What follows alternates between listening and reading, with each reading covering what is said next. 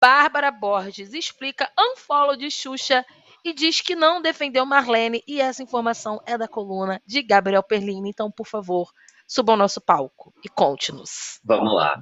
Bom, o que aconteceu, gente? A Bárbara Borges tomou um follow da Xuxa. E foi uma pessoa, aí, assim, eu não posso expor fontes, obviamente, mas foi uma pessoa ligada à Xuxa que me falou: olha, a Xuxa tá revoltada com algumas paquitas e tá metralhando um follow. Eu, eita, que loucura, né? E aí me cantou essa bola em relação a Bárbara Borges. Na hora que eu fui falar com essa pessoa que tem uma certa ligação ali com a Xuxa, ele falou, essa pessoa me falou, ela está muito revoltada com as pessoas que não estão demonstrando apoio total a ela, porque ela ficou tantos anos, tantos anos em silêncio, sem falar sobre Marlene, e agora que ela decidiu expor todo o horror que ela viveu é, sob os cuidados dessa mulher, o mínimo que ela esperava dessas pessoas, principalmente que estavam ao lado dela e que assistiram diversas cenas horripilantes, era que essas pessoas demonstrassem apoio. Pois bem, eu fui lá, publiquei na minha coluna a história de um follow, tal, não sei o quê. Menino, isso daí foi um caos. Eu nunca vi uma notícia de um follow dar tanta repercussão igual foi essa da Xuxa na Bárbara Borges. A começar uhum. que a Bárbara é um amor de pessoa, a Bárbara é uma fofa, é uma querida, sempre foi dócil com todo mundo. Nas vezes que eu a entrevistei, ela sempre foi muito querida e obviamente que essa publicação não teve aí o objetivo de atacá-la em forma alguma. Foi noticiar uma coisa que aconteceu. De fato, a Xuxa deu um follow na Bárbara. E aí, eu somei as informações que me foram passadas de pessoas próximas à Xuxa. A Bárbara ficou muito chateada. Por quê? A repercussão disso foi muito grande. E não somente a repercussão da notícia em si. Eu acho que aí o que pega para ela e que é muito delicado nessa história foi a onda de ataques que ela começou a receber. Porque a história toda nasceu numa entrevista que ela deu para Fábio Oliveira, no qual ela falava de uma forma não agressiva sobre a Marlene. Ela falava que entendia a Marlene, né, que tinha um respeito, um carinho pela Marlene, mas também não inviabilizar, não é, invisibilizava a dor das outras pessoas que sofreram na mão dela. Ela foi assim bem política nas palavras só que em nenhum momento ela foi pelo mesmo caminho que outras Paquitas e outras pessoas foram, que nem a Letícia Spiller, né, no documentário. A Letícia revelou horrores a respeito da Marlene Matos.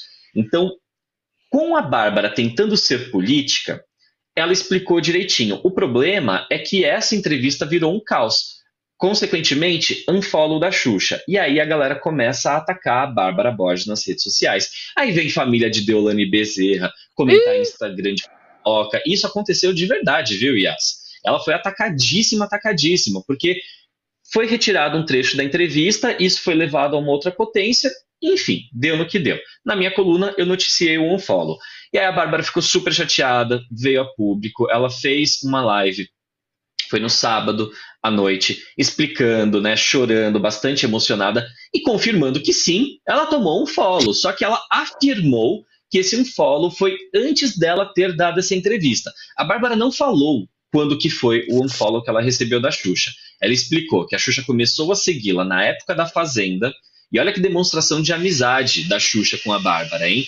Porque a Xuxa foi fazer campanha para Bárbara na época da Fazenda. A Xuxa detesta a Galisteu, elas são inimigas mortais, e mesmo assim a Xuxa passou por cima do seu ódio pela Galisteu para fazer campanha para Bárbara. E aí, enfim, deu no que deu. Acho que a Xuxa não se sentiu correspondida na hora que a Bárbara foi dar essa entrevista e acabou dando um follow. A Bárbara, obviamente, muito emocionada, chorou, falou, enfim, que as pessoas foram maldosas, que ela começou a receber ataque, reforçou seu carinho, seu amor pela Xuxa, etc. Todo um texto que a gente já conhece na biografia dela. Mas dois pontos que me saltam muito a atenção no meio dessa história toda, e aí, enfim, eu, você pode dar sua opinião também, não sei. É, uma delas é que a Bárbara não falou a data, não falou quando que ela tomou um follow da Xuxa, e isso já deixa a gente ficar com da margem para várias interpretações.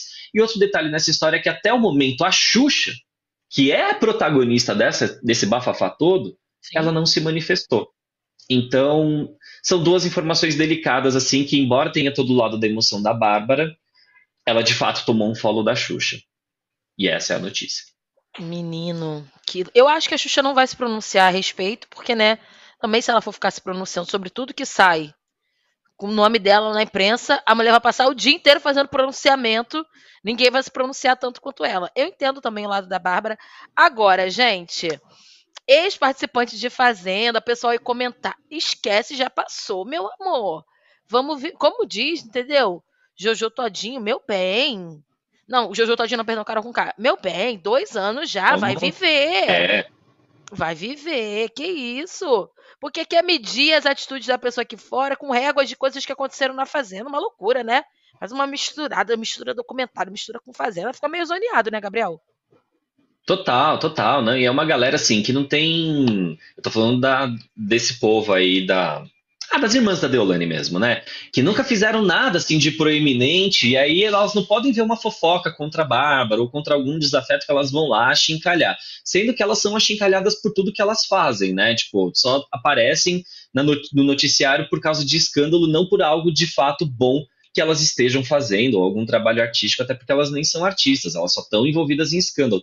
E assim, eu fiquei muito triste pelos ataques que a Bárbara sofreu. Né? Uma notícia de uma pessoa ter recebido um follow não seria motivo para virar uma piada, virar motivo de deboche. Não, gente, causa e consequência. Aconteceu o fato. As pessoas não precisam atacar umas às outras porque tomaram um follow. Eu já tomei um follow de um monte de gente na minha vida e nem por isso estou aqui fazendo vídeo chorando e nem por isso também estou fazendo campanha para atacar as pessoas. Mas é, é, muito triste a gente ver essa galera do submundo da fama, como o Chico Barney muito bem uma vez colocou, do pré-sal da fama, ficar atacando os outros. Parece um umbral dos famosos, sabe? Tipo, a galera fica sugando energia do outro por uma coisa tão boba, tão boba, tão pequena. Enfim, coisas que a gente só vai entender, se é que a gente vai entender algum dia, quando essas pessoas forem estudadas de fato.